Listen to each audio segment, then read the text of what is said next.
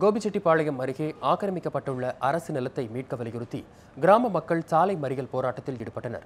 கோபி அருகே உள்ள மூனாம்பள்ளியில் உள்ள அரசு நடுநிலைப் பள்ளிக்கு சொந்தமான ஒரு ஏக்கர் நிலத்தை சிலர் ஆக்கிரமித்து வீடு மற்றும் கடைகள் அமைத்துள்ளதாக கூறப்படுகிறது.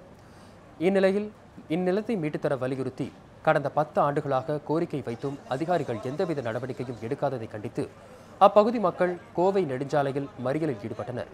இதனால் சுமார் ஒரு மணி நேரம் போக்குவரத்து பாதிக்கப்பட்டது. கோபிச்செட்டிப்பாளையம் வட்டாட்சியர் அசோக்குமார் நடத்திய பேச்சுவார்த்தையை அடுத்து பொதுமக்கள் தங்கள் போராட்டத்தை கைவிட்டனர்.